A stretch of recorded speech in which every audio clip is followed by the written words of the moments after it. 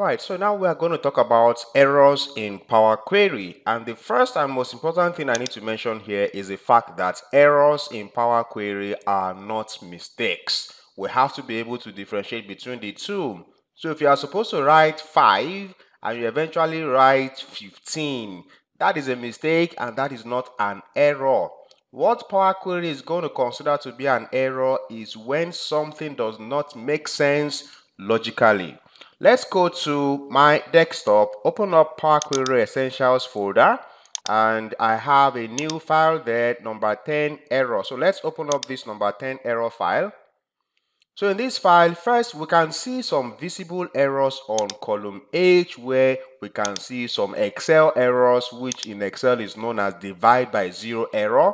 This is something that happens when you divide a particular number by zero, you get a divide by zero error. Now, there are several types of errors in Excel. This is just one of them. And when you import this data into Power Query, you are obviously going to end up with an error. Now, another thing you can find is on the column for quantity, you are going to see some quantities written as capital letter S. Now, if you try to convert the data type of this column into a whole number data type, you are definitely going to have an error because logically it does not make sense to say letter S is a number. Perhaps this is meant to be like number 5 or something.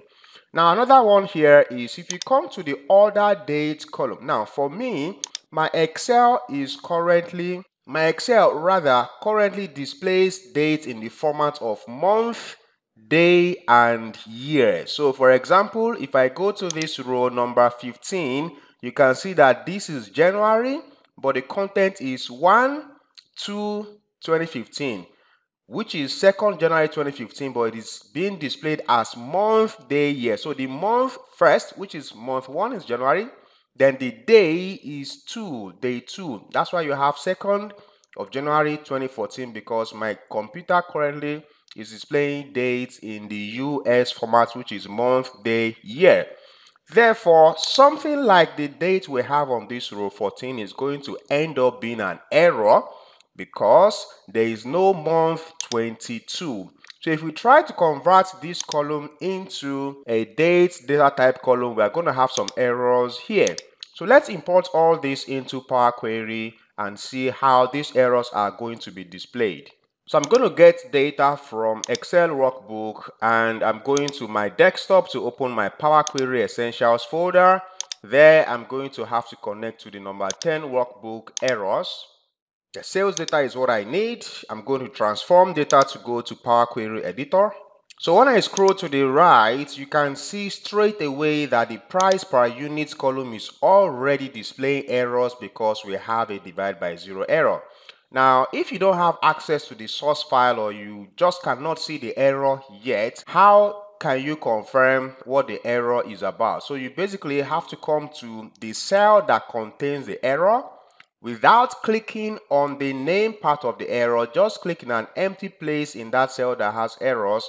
If I click on that cell, I'm going to have an error message here that tells me that this is a data format error and the error is actually because we have a value called divide by zero. So this essentially is an imported error into our Power Query.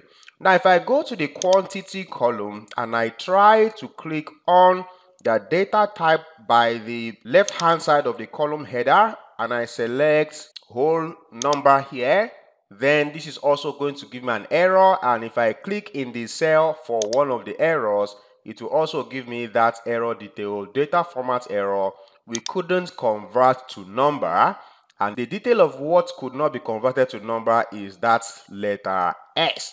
Of course, if you were going to treat something like this that is a data format error when you have a character that is meant to be a number, for example, the safest way for you to do this is to first of all convert that particular column into a text column Make sure you replace current and then it's going to display everything as text and you can see the letter S are actually showing here. Then you can do a right click on this column to replace values. We're assuming that this letter S are supposed to be 5. So if I uh, find letter S and I replace that with 5, I can click OK here. That's going to replace all those occurrences of S with 5.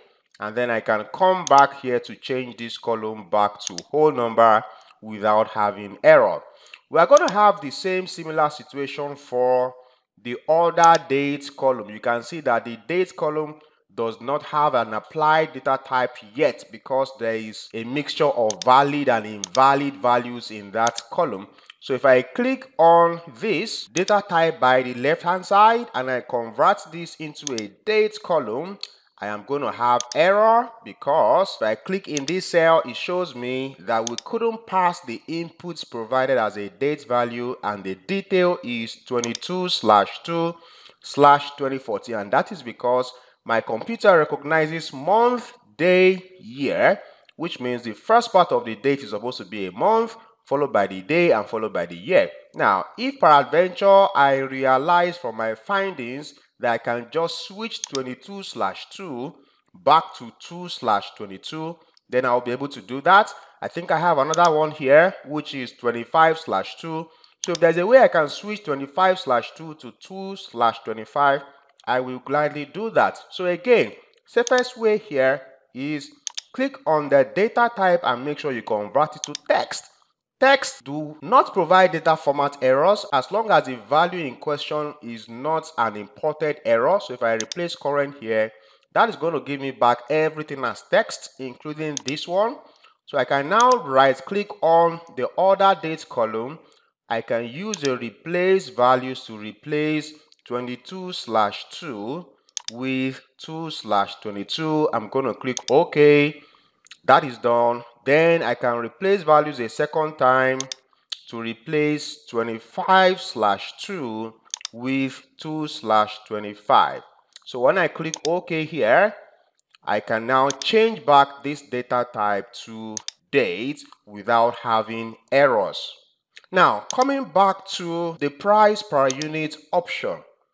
There are also other ways of dealing with error. So if I right click on this column, for example, we have an option that is to replace errors. And another option here is to remove errors. But removing errors is not really advisable because if you use the remove errors option it is going to delete the entire row that has that error. So all records on that row are going to be deleted However, we can go to use the option of replace errors. So I can replace this error, for example, because I know that this error arose from the fact that a number could not be divided by zero and essentially any number divided by zero can also be regarded as zero, right? So I'm going to replace all these errors on this column by zero and I'm going to click OK.